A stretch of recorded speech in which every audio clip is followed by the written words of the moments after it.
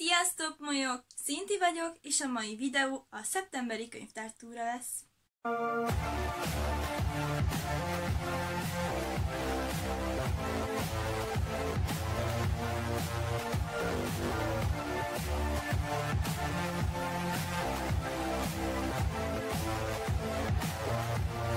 Felvetülhet bennetek a kérdés, hogy Szinti, szeptember vége van, miért ilyenkor hozod a szeptemberi könyvtártúrát?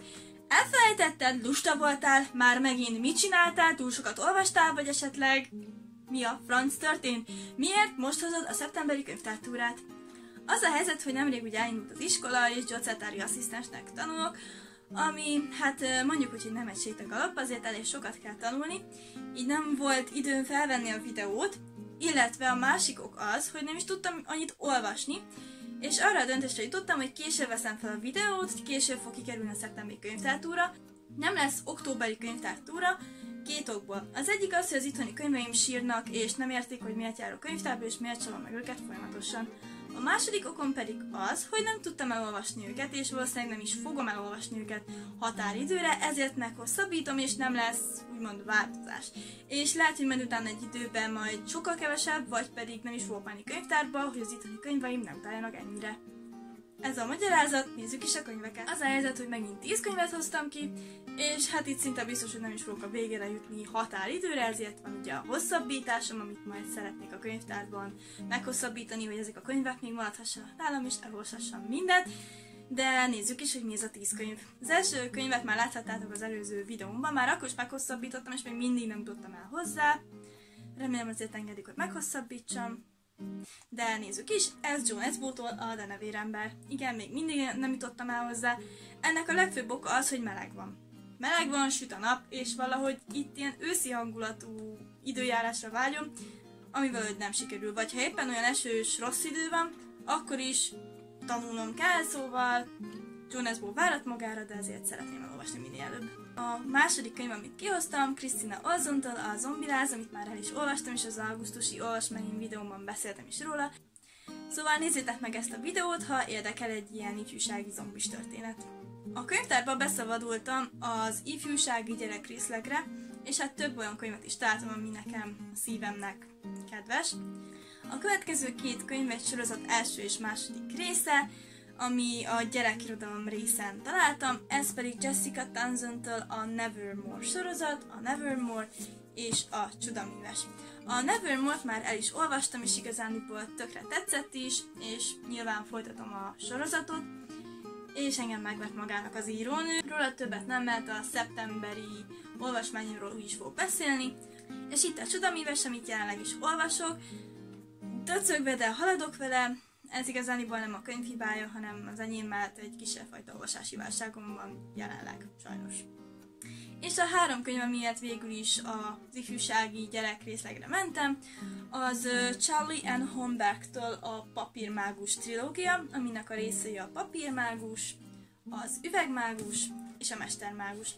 Ezt a három könyvet igazániból azért hoztam ki, mert a Booktube könyvklub keretein belül én a, ma, a papírmágus ö, olvastam volna el, viszont iskola miatt nem tudtam befejezni, nem tudtam vele haladni, és uh, igazániból azért hoztam ki a másik két részét, hogyha tetszik, akkor tudjam folytatni. Azóta ezt a könyvet igazániból elolvastam, és tetszett, és hát sajnálom, hogy a live-ban nem tudtam részt venni, de Evelyn és Hales készített róla egy kibeszélő live-ot, annak a linkjét majd lent hagyom az infoboxban, nézzétek meg, hogy mit is gondolnak a lányok erről a könyvről. Róluk most bővebben nem szeretnék beszélni, egy ifjúsági fantasy trilógiáról van szó, mert csak azért sem, mert bízom benne, hogy a másik két részét még szeptemberben el tudom olvasni, és akkor a szeptemberi olvasmányimon belül beszélek róluk, illetve egy külön videót tervezek a trilógiáról, hogy elolvastam, mert szerintem megéri, de tényleg róla most röviden ennyit, szépek egyébként nagyon mind a három könyv. És hogy érezzük a Booktube könyvklubnak a hatásait,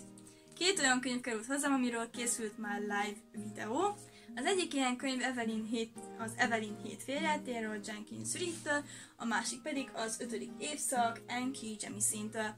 Igazániból nem akarok sokat beszélni róluk, nézzétek meg a live-okat, annak a linkjét is lent hagyom az infoboxban. Hogyha megnézitek azt a live-ot, akkor érteni fogjátok, hogy miért szeretném ezt a két könyvet elolvasni. Igazániból, amit tudok róluk, hogy Evelyn ugye egy ilyen filmsztár, és hogy megkér egy író, megkér egy újságírót, Monikot, hogy írja rá az életét, és igazániból ebben van benne egy LMBTQ szál is, amire én kíváncsi vagyok, mert még LMBTQ könyvet nem olvastam, nem tudom, hogy ez most rossz, nem rossz, nem nagyon olvastam még ilyen műfajba is, hát megpróbálkozom vele, hogy mennyire fog ezt tetszeni.